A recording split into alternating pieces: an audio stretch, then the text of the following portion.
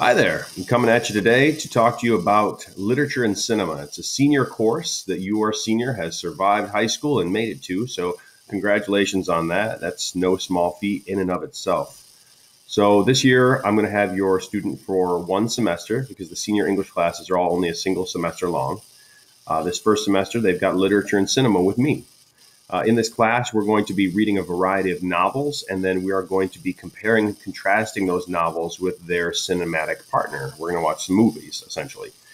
Uh, we're going to be reading three different novels. Our novels start off with, um, we're either, well, I'm going to actually let the kids decide what order we do these in. So, start off is a strong term, but we're going to be reading Divergent by Veronica Roth. We're going to re- be reading Twelfth Night by, um, Shakespeare, William Shakespeare. It's a play, it's a comedy.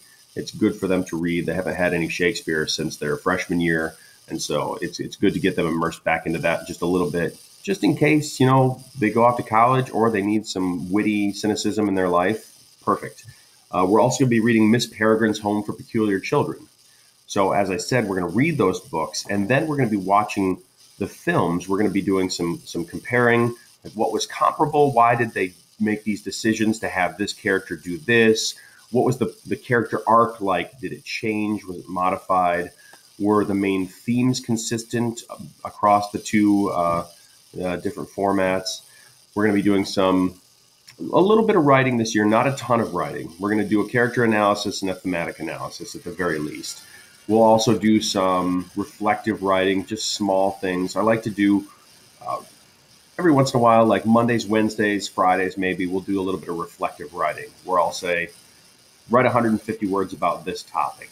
Tell me how you feel about this in 200 words or less. And that's that's pretty good for the kids to start to really reflect on who they are and what their opinions are.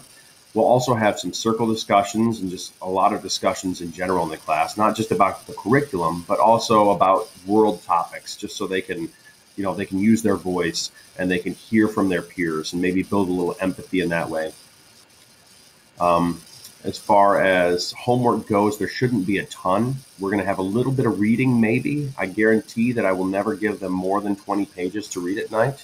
I try not to give homework at all, but sometimes with novels, it just becomes a necessity because of time crunches.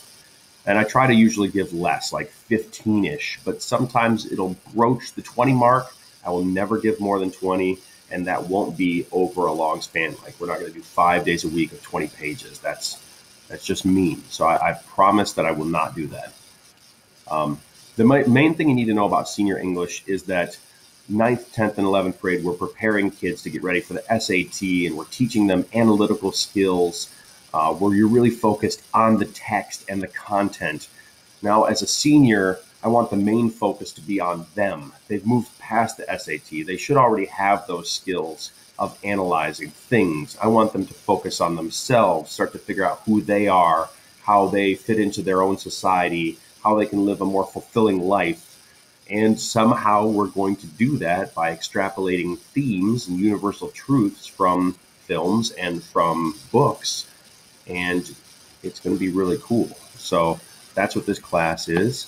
If you have any questions, comments, or concerns for me, I'm always here. Feel free to email me. My email address is jo fisher, that's F I S H E R, at fhps.net. Reach out to me, say hi. If you got any questions about your kids, anything whatsoever, email me anytime. I'll respond to you as quickly as I can, typically within 24 hours. I think that's all I've got for you. So, you guys have a great year. Enjoy this ride. You know, you have worked just as hard in a lot of cases, sometimes harder than these kids are to get here. This you only get senior year once. So you as a parent enjoy it too. Okay? Make that promise to me. I will see you hopefully in person for parent teacher conferences, maybe. And uh, take care. I'll see you soon, hopefully.